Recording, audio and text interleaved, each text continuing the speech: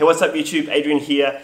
Um, today I'm going to be bringing you a little unboxing video. Um, thanks so much for your response on um, my camera review of the Panasonic G9 and also the unboxing. Been really cool to see the engagement that I've got uh, and the amount of views. Uh, and today I'm going to be bringing you another uh, camera unboxing, which has been really cool. Um, I reached out to Fujifilm and they have sent me something to review, which I'm really excited about. So I'm going to be doing an unboxing today.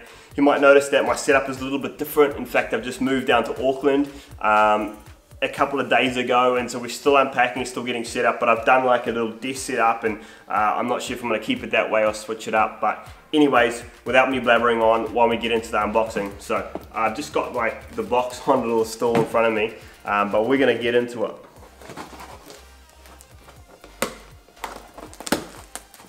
Let's do it get this thing open. I'm using a bigger knife this time. I've been using pretty much this thing for most of the unpacking and it's like full of like residue and like stickiness and all that kind of deal but it's doing the trick. Here we go.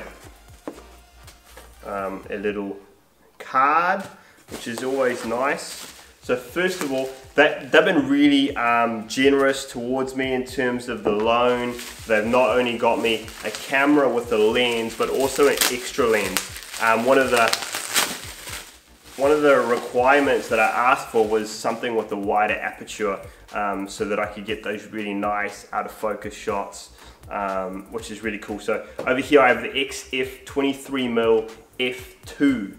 Um, which is going to be really nice to shoot with. I'm to pop that open before we get to the camera. You guys don't even know, oh you probably do know what camera is because I'll probably put it in the description, but I'm going to put that to the side. Let's get into this. Boom. That is a really nice looking lens.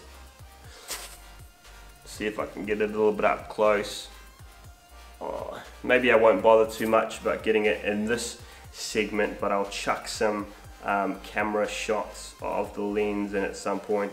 I really like that this has got an aperture ring as well. That's something that's quite unique to um, the Fujifilm cameras and I'm really excited to sort of get get hands on and, and do a bit of review um, because I feel like it'll be a really great uh, user experience with the Fujifilm and, and obviously that's something that, that they've aimed and targeted at which is really cool.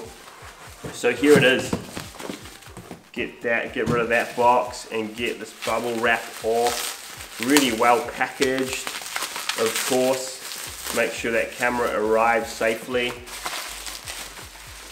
I've actually had this sitting in the box like this for about a week or maybe a bit longer uh, and have just been itching to get it out but um, I'd sort of packed up all my spaces and so I didn't have um, a space that I could film the video at.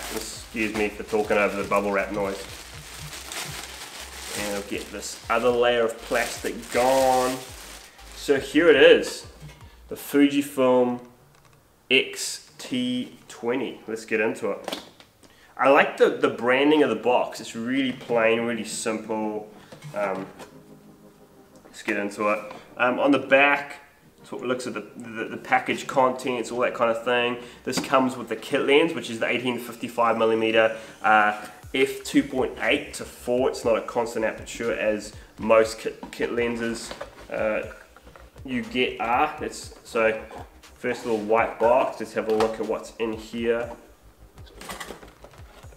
So of course we have the lens, and I think that other lens, let's have a quick look. It did come with a, looks like a, a lens hood as well, which is cool. And I see this one comes with a lens hood, which is really nice. There's the lens hood. And there is the lens. So I'm just putting things to the side. Again, really nice looking lens. Really smooth feeling lens. Really looking forward to um, getting hands on with this camera. But Let's put that lens away and get into the body, which is really what we want to see. Okay, little X series detailing on the box. some more paperwork, quite a thick meaty manual, which is always good to get familiar with. Oh, there it is. There it is. I really, really like the look of um, these bodies. It's got a very, um, feels almost rude pulling off the stickers. Um, it, it's got a really old school, sort of vintage, classic look, which I really like.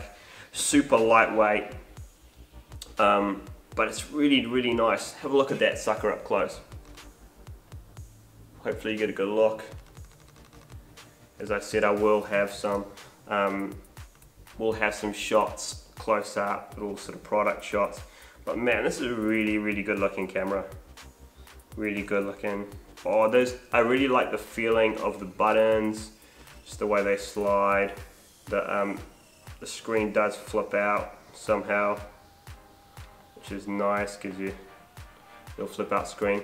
I'm not gonna, I'm gonna bore you if I just keep staring at it and, and talking about it, but um, here it is. I've got some great ideas in terms of video content. One of the things that I, I, I was really keen to do is so often when it comes to like photography, you know, I, you set your camera up, you take your sneaker shot, then you export the photos and you put them on your laptop, then you put them into Lightroom and then you, you know, do all the settings and then you tweak them and you export it again and you have to get it back onto your iPhone before you can post to Instagram.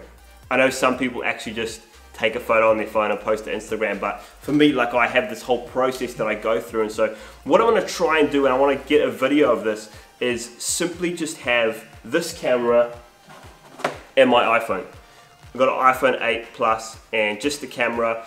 Um, and what I wanna do is take the photos on here uh, and then use Wi-Fi to transfer the, the photos over to my phone uh, and then edit on Lightroom CC um, and then post to Instagram. So I think what I'm gonna try and do is I'm gonna try and do a week where all I use is this camera and this phone and get some on feature shots. This is I have Wi-Fi and all the features that I want as well. Probably just use the, that wide lens with f2 aperture um, and put up a review of my experience and how that was because I, I feel like this is a lightweight camera, a camera that you could just take around, but also really usable and, and get some really nice shots um, and chuck them straight on here. So uh, stay tuned for that video coming up next. Um, but as we close, um, check out some product shots, some up close shots of the camera. And as always, please like, subscribe, and comment. Let me know if you're enjoying the content. To be honest, I don't really care. I'm just gonna make content that I like anyway. Um, but it does, it is good to hear your opinion regardless. Anyways, guys, check out the shots. Catch you in the next video.